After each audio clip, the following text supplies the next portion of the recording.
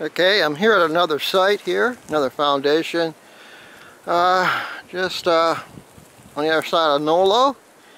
And uh, this one's a little bit later, or, I mean, I don't know how old it was when it was first built, but we got some uh, concrete and around here, this site. These are some steps that lead down to the spring. But this was like a, oh, you know, very small house. It was dominated by a hearth here in the middle. Uh, you know, this uh, this would have dominated the first floor. There wasn't uh, a lot of room to uh, for furniture. I guess you got about six feet there. In the upper side, there's less. But uh,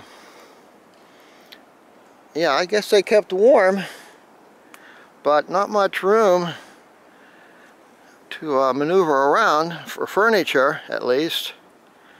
But uh, yeah, there's a shack over there. And then uh, up above there, there seems to be like a, they dug some soil out for a, a root cellar or something. But it looks like we have some steps coming down here. A landing here, and then we got a big hemlock tree here. I'm sure that was there when the people were living here. And then we got the uh, spring over there.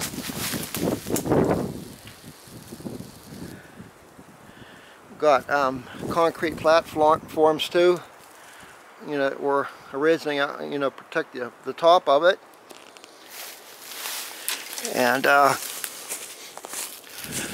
and up here is where we got this root cellar of some sort here. Got a depression in the ground right there. And then over here, I guess this is the outhouse. Uh, let's see.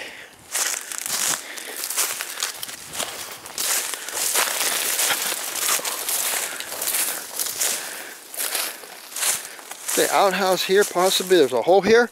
Then we got this concrete fixture here. And it only goes down there like a foot or so. And I don't know, was this also an outhouse here? I, I guess it probably was. Up above the uh, the shack and down there at the house, hemlock tree. And that was the first um, outhouse. And then uh, down below here I have a target. It's a real high conductivity. And it's like I can't get down to it.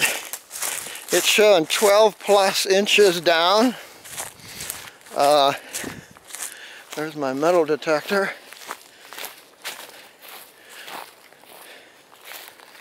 And uh, still digging here I guess I'll dig I'm just about ready to leave I haven't found anything but I'm down there about eight inches. And uh, like I say, it's high conductivity, so you know it's not iron, that's for sure. It's consistent. And I guess I'll dig a little bit more. It's too big to be a coin. Directly below the uh, the spring. At first I thought maybe it was a a pipe, a copper pipe, but I don't hear I don't get any more readings here. So I, will just check it out some more.